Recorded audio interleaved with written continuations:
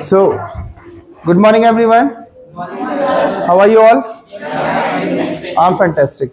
So in the last class we have discussed about saturated and unsaturated solution. Today we are going to understand how we can prepare a saturated solution. Getting? So this time we have to only listen carefully and one day in laboratory we will be uh, preparing saturated solution. So the method is Suppose that we are going to prepare a saturated solution of sodium chloride. The important thing is we must mention about temperature. So let us take that the temperature is 30 degree Celsius. Basically it is a room temperature. Room में इतना temperature होता है approx 30 के आसपास थोड़ा बहुत कम ज़्यादा बाहर से हो जाता है बट जब हम रूम टेम्परेचर की बात करते हैं तो मान के चलते हैं कि 25 से 30 डिग्री सेल्सियस के बीच का टेम्परेचर होता है ठीक है so first we take some water in a beaker and heat it slowly and gently एक बीकर में पानी लेंगे उसको धीरे धीरे हीट करना स्टार्ट करेंगे। Now we start adding sodium chloride salt to the hot water with a spoon and stir it अब आप क्या करेंगे?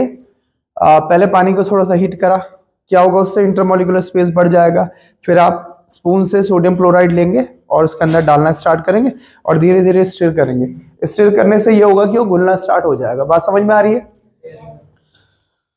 And stir it with a glass rod continuously so that the sodium chloride goes on dissolving it in water. Then we take the temperature of water up to 30 degree Celsius and then keeping this temperature constant. फिर आप क्या करेंगे कि उस पानी का temperature burner की help से हीट करते करते 30 डिग्री सेल्सियस तक ले जाएँगे और उसमें डिजोल्व करते रहेंगे NaCl बात समझ में आ रही है yes. अभी कुछ नहीं हो रहा है अभी अनसेचुरेटेड को सेचुरेटेड बनाने की तैयारी चल रही है हम लगातार उसमें घोलते जा रहे हैं ठीक है? Go on adding sodium chloride till no more sodium chloride dissolve in it अब कब तक NaCl को घोलते रहेंगे जब तक हमको ये महसूस होता है कि भाई अब और ज़्यादा सोडियम क्लोराइड इसमें डिजोल्व नहीं हो रहा है। कैसे पता चलेगा? ग्लास रॉड की हेल्प ले सकते हैं। दूसरा, आपको दिख जाएगा कि बॉटम पे सोडियम क्लोराइड बैठना स्टार्ट हो गया है। समझ रहे हैं ना?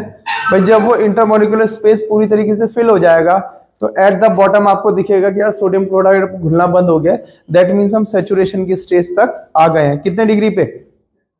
ज़ोर से बोले कितने डिग्री पे? थर्टी डिग्री सेल्सियस पे।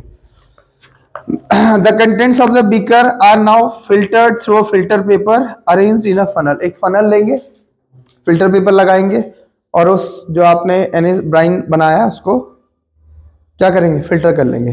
तो जो एक्सेस NaCl है, वो फ़िल्टर पेपर पे रह जाएगा और आपके पास ब्राइन सॉल्यूशन तैयार हो जाएगा। ठीक है, बात समझ में आ रही है?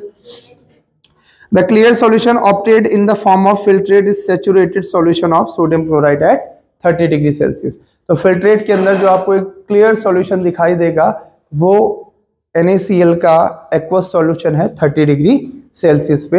इस तरीके से आपने क्या बना लिया है? क्या बनाया? सेचुरेटेड सॉल्यूशन ऑफ़ NaCl समझ में आ रही है बात? ठीक है तो आई थिंक यहाँ तक तो हमने डिस्कस कर ही लिया था। करा था कि नहीं करा था? क्या हमने कल सॉल्युबिलिटी को डिस्कस किया है? घुलनशीलता। नहीं डिस्कस किया। हेडिंग लगाया सॉल्युबिलिटी थोड़ा सा डिस्कस कर लेंगे।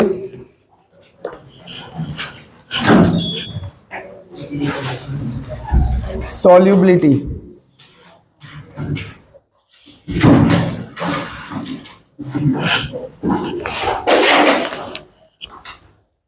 अच्छा मुझे ये बताओ, कल हमने कंसंट्रेशन पढ़ा था ना? पढ़ा था कि नहीं पढ़ा था? कैसे डिफाइन करते हैं कंसंट्रेशन को? Amount of solute in grams dissolve in बोलो। इन 100 ग्राम्स कि कितने ग्राम सॉल्यूट को हंड्रेड ग्राम कितने ग्राम सॉल्यूट को सॉल्यूशन के 100 ग्राम में डिसॉल्व करा गया है? ठीक है ना? अब सॉल्युबिलिटी क्या होता है कि मैक्सिमम कितने ग्राम घोल सकते हो? भाई बात समझ में? सॉल्युबिलिटी मतलब ability to ability to be dissolve ऐसा कह सकते हैं? भाई सॉल्युबिलिटी मतलब सॉल्यूट की एबिलिटी समझ पा रहे हो ना? कि कितना maximum amount amount of solute को डिसॉल्व किया जा सकता है। समझ में आ रही है? अरे बहुत सिंपल सा आया सॉल्यूट प्लस एबिलिटी सॉल्युबिलिटी बात समझ में आ रही है कि नहीं आ रही है सबको? पक्का? तो लिखेंगे the maximum amount of solute the maximum amount of solute which can be dissolve अच्छा डिफाइन हमेशा 100 ग्राम्स में ही होगा। The maximum amount of solute which can be dissolve in 100 grams of a solvent. यहाँ पे सॉल्यूशन नहीं, solvent की बात होगी। The maximum amount of solute which can be dissolve in 100 gram of solvent. क्या टेम्परेचर मेंशन करना चाहिए? हाँ क्योंकि टेम्परेचर इंक्रीज करने से सॉलिबिलिटी इंक्रीज हो सकती है। At a specified temperature at a specified temperature is known as the solubility, is known as the solubility of solubility किसकी होती है? सॉल्यूट की, कि सॉल्वेंट की, कि सॉल्यूशन की? सॉल्युबिलिटी ऑफ़ दैट सॉल्यूट लिखो। Solubility of that solute in that solvent solubility of that solute in that solvent और कंसंट्रेशन किसका होता था? सॉल्यूशन का। सॉल्युबिलिटी किसकी होती है? सॉल्यूट की किसमें? सॉल्वेंट में किसी स्पेसिफाइड टेम्परेचर पे। ठीक है ना?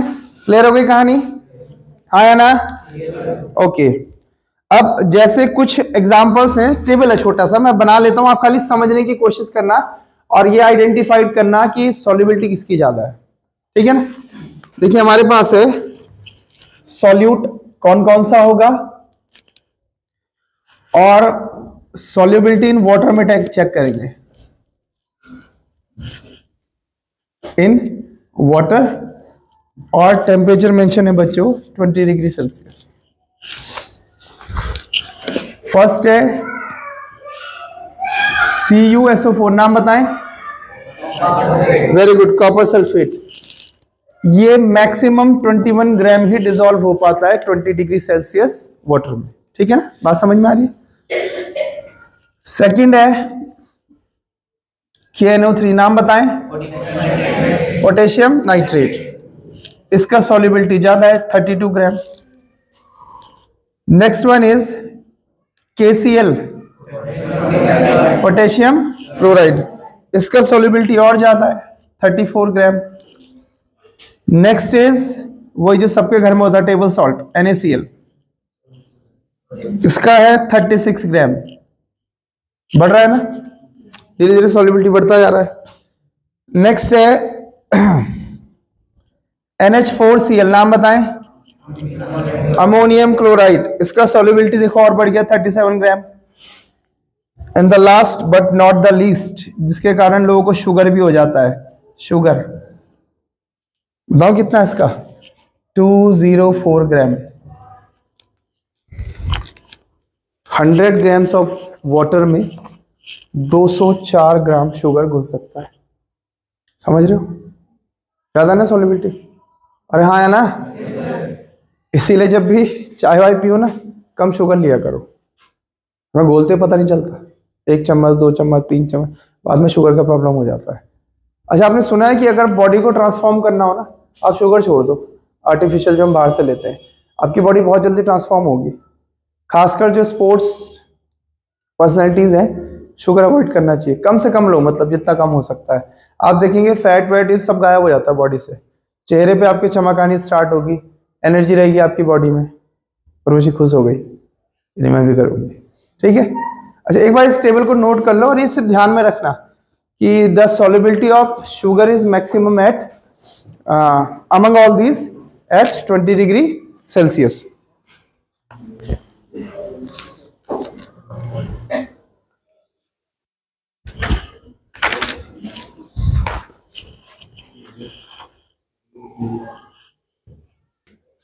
So now write down one question.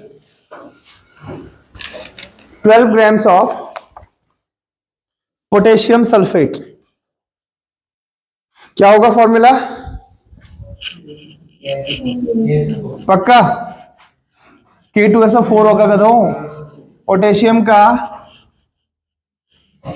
Valency two होता है। K two S four twelve gram of potassium sulphate dissolved in 75 grams of dissolved in 75 grams of H2O at temperature भी mention है 60 degree Celsius at 60 degree celsius what is its solubility what is its solubility in water at that temperature what is its solubility in water at that temperature Vanshika आज absent कहाँ गई है कुछ जानकारी काकुन नहीं what is its solubility in water at that temperature simple है है ना solubility equals to solubility of K two S four in water equals to twelve gram upon seventy five gram काट पीट के आंसर दे दीजिए मुझे। इन टू हंड्रेड कर लीजिएगा। Into hundred gram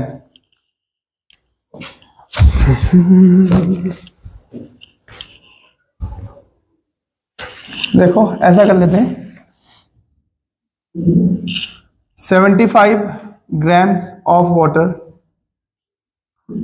dissolve equals to कितना डिजोल्व करता है? 12 grams of K two S O four potassium sulphate so unitary method आता है?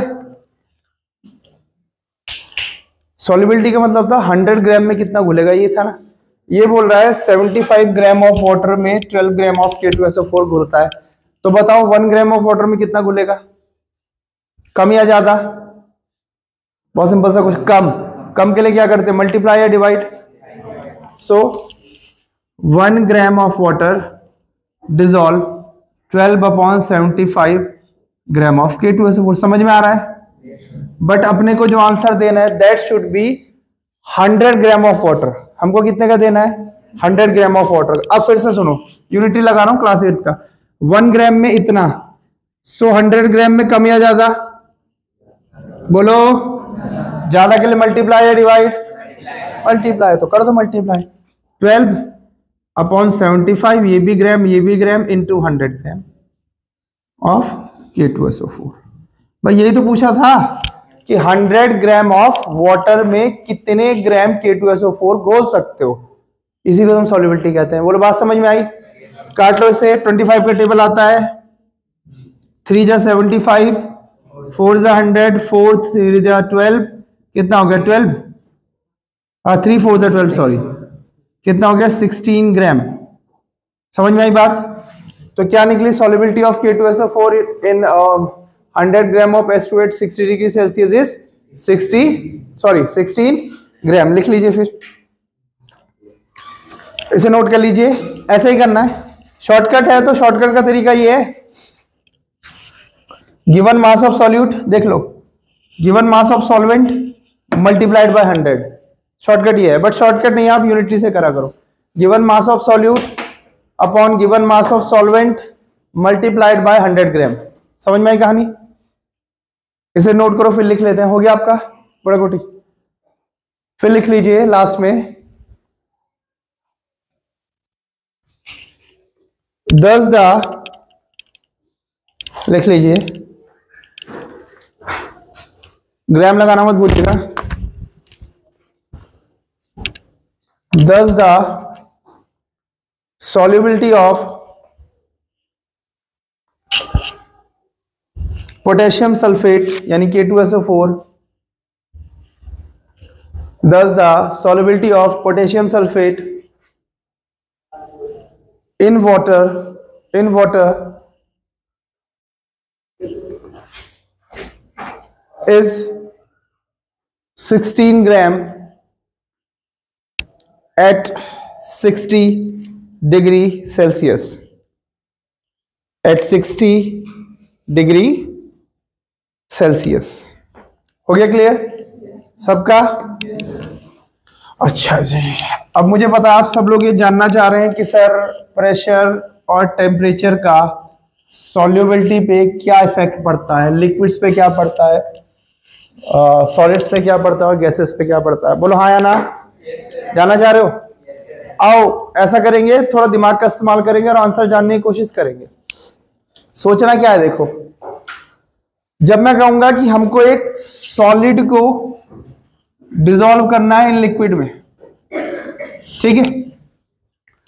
और मैं बोलूँगा टेम्परेचर बढ़ाने पे सॉल्यूट सॉलिड की सॉल्युबिलिटी इंक्रीज होगी या डिक्रीज होगी तो आप नहीं सुन लो पहले ना। तो आपने ये सोचना है कि सॉलिड पे क्या इफ़ेक्ट पड़ेगा टेम्परेचर बढ़ाने से? बस ये सोचना है। अगर आप ये सोच पाए तो मुझे पढ़ाना भी नहीं पड़ेगा, आप आंसर दे देंगे। समझ रहे मैं क्या बोल रहा हूँ? अरे समझ पा रहे हो मैं क्या बोल रहा हूँ। मान लो अपने कोई सॉलिड चीज़ किसी लिक्विड में घोलनी है, और हमसे पूछा जा रहा है कि टेम्परेचर के चेंज होने से क्या इफ़ेक्ट पड़ेगा तो हमको सिर्फ़ ये सोचना है कि टेम्परेचर को इंक्रीज या डिक्रीज करने से इस सॉलिड में क्या फ़र्क पड़ेगा? ठीक है? फिर हम आंसर को काफ़ी हद तक समझ पाएँगे। कोई पूछेगा प्रेशर का क्या इफ़ेक्ट पड़ेगा? तो हमको ये सोचना है कि प्रेशर इंक्रीज या डिक्रीज करने से इस सॉलिड पे क्या फ़र्क पड़ने वाला है? बात समझ में आ रही है? भाई, दो चीज़ें है ना। एक तो ये सॉल्यूट जिससे घुलना है, दूसरा सॉल्वेंट जिसके अंदर जगह होनी चाहिए, घोलने की या नहीं घोलने की। बात समझ में आ रही है? थोड़ा सोचने की कोशिश करो। कोई इमेजिन कर लो कि तुम किसी बीकर में पानी रखा हुआ है उसमें एन भी डाल रहे हो, साथ में तुम हीट भी कर रहे हो तो टेम्परेचर इंक्रीज हो रहा है। सोचने की कोशिश करो जरा।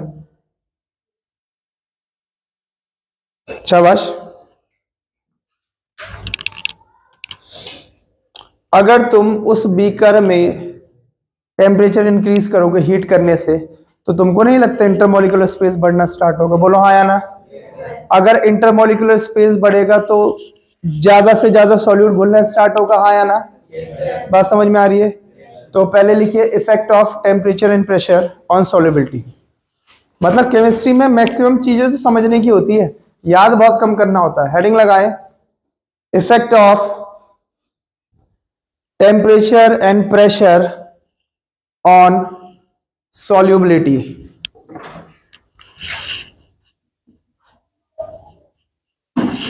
Effect of temperature and pressure on solubility यहाँ से एमसीक्यूज बन सकते हैं एजर्सन रीजन बन सकता है, समझ रहे हैं? हाँ ना? ठीक है। फ़र्स्ट पॉइंट लिखिए। The solubility of solids in liquids the solubility of solids in liquids usually increases. Usually increases. On increasing the temperature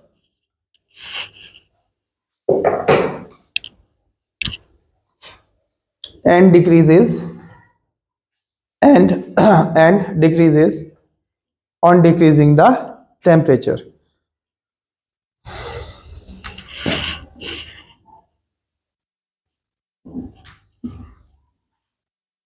short में लिख रहा हूँ for solids and liquids solubility short में ये हो गया। Directly proportional to the temperature ठीक है? इसका सीधा सा मतलब डायरेक्टली प्रोपोर्शनल है। टेम्परेचर बढ़ेगा सॉल्युबिलिटी बढ़ेगी। सॉलिड्स के लिक्विड में टेम्परेचर घटेगा सॉल्युबिलिटी घट जाएगी। रीजन मेरे ख्याल से आपको समझ में आ रहा है। इंटरमोलिकुलर स्पेस बढ़ता चला जाता। क्लियर है सबको? कोई डाउट ऐसा क्यों बोल रहे हैं? समझ में आई कहानी? पक्का? सेकंड लिखिए। the solubility of solids in liquids. The solubility of solids in liquids remains unaffected.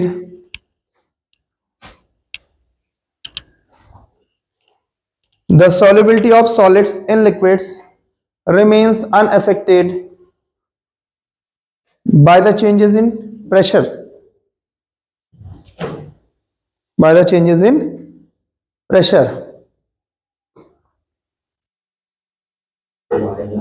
Changes in pressure अब सोचेंगे ऐसा क्यों?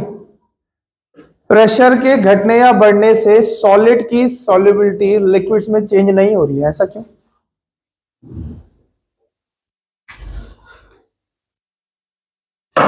नहीं पता चल रहा। आपने प्रेशर अप्लाई करा। आपको क्या लग रहा है सॉलिड और पास पास हो जाएगा। हो जाएगा कंप्रेस सॉलिड सार इनकम्प्रेसिबल पढ़ा हुआ है। हाँ या ना? पढ़ रखा है ना? आपने प्रेशर कम कर दिया। आपको क्या लगता है सॉलिड से फूल जाएगा? सॉलिड सार इनकम्प्रेसिबल प्रेशर का लगभग ना के बराबर इफ़ेक्ट होता है सॉलिड्स पे। बात को समझ पा रहे हैं? इस वजह से सॉलिड की सॉल्युबिलिटी लिक्विड में प्रेशर के चेंज होने से कोई इफ़ेक्ट नहीं डालती। क्लियर हो गया? ये एमसीक्यू में पूछा जा सकता है। क्वेश्चन आ जाएगा, मान लो। The solubility of a solid in a liquid varies varies option one increases on increasing the pressure option B decreases on decreasing the pressure option C it remains constant option D none of the above क्या लिखोगे? It remains constant कहानी समझ में आ गई कि हमने ऐसा क्यों बोला कि प्रेशर के चेंज होने से सॉलिड की लिक्विड में सॉलिबिलिटी में कोई फ़र्क नहीं पड़ता। क्लियर है आलिया? पक्का? पॉइंट नंबर थ्री ये तो सॉलिड सॉलिड की बात की बात है? लिक्विड्स या गैसेस की? The solubility of the solubility of gases in liquids, the solubility of gases in liquids usually dash usually dash अभी निकालेंगे answer usually dash on dash the temperature usually dash on dash the temperature ठीक है अब सुनो dash में हमको भरना है दोनों डैशेज में इंक्रीजिंग आ गया कि डिक्रीजिंग आ गया पहले आराम से सुनना एक गैस को डिजोल्व करना किसमें लिक्विड में। गैस के पार्टिकल्स के बीच मोशन सबसे ज़्यादा होता है, इंटरमोलिकुलर स्पेस भी भर भर के होता है। अगर आप हीट करोगे, यानी टेम्परेचर राइज करोगे तो आपको क्या लगता है, गैस लिक्विड के अंदर डिजोल्व होगी भागना स्टार्ट कर जाएगी? सब मानते हैं इस बात को। It means on increasing the temperature the solubility of gases decreases in liquids कहानी समझ में आई? बोलो हाँ या ना? लिख लेंगे? दोनों डैश में भर दीजिए, क्या बनना है?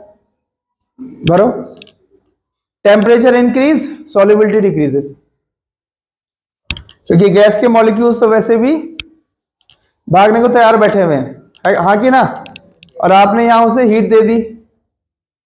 वो मूव भाग जाएँगे स्केप कर जाएँगे। लिख लिया? सबने लिख लिया?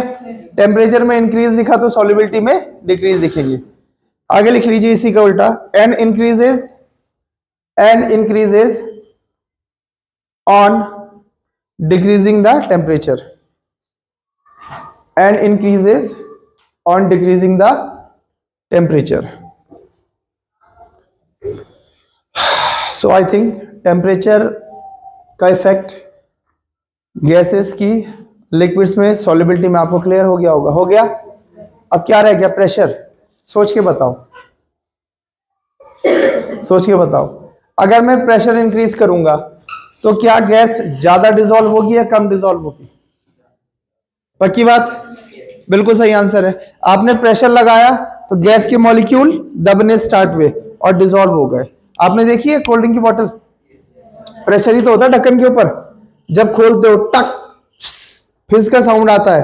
प्रेशर रिलीज़ होता है, सारी गैस बाहर निकल जाती है। हाँ या ना? इसीलिए लिखेंगे लिखेंगे फटाफट।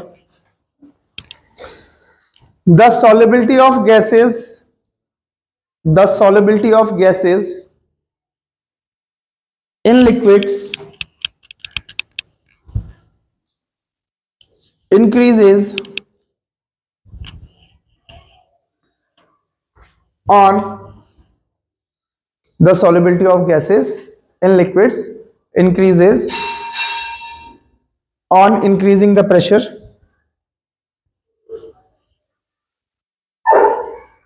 And decreases, on decreasing on decreasing the pressure.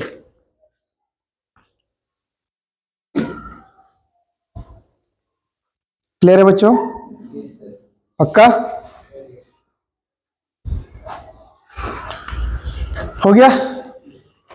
एक बार पूछ लो क्विक पहले बात कर रहे हैं सॉलिड्स की सॉल्युबिलिटी लिक्विड में। ध्यान से सुनिएगा। टेम्परेचर का क्या इफ़ेक्ट होता है? डायरेक्टली प्रोपोर्शनल और inversely proportional directly proportional very good pressure का? सॉलिड्स में? नो इफ़ेक्ट अरे प्रेशर डालने से या हटाने से सॉलिड्स में कोई फ़र्क नहीं पड़ता। अब बारी आती है गैसेस की लिक्विड में। उर्वशी बताएँगे on increasing the temperature what about gases their solubility will increase और decrease decrease very good pressure effect of pressure Chauhan, on increasing the pressure, what will happen to the solubility of gas in a liquid? हाँ? फिर से सोचो। Pressure बढ़ा रहे हो तो gas और घुलेगी या बाहर भाग जाएगी? इंक्रीज होगी। समझ में आया? पक्का? नोट कर लिया सब कुछ? ठीक है। So dear students that's all for today see you tomorrow at the same time same place till then have a ball and ciao and Bharat माता की भारत माता की भारत माता की गुड बाय एवरी वन.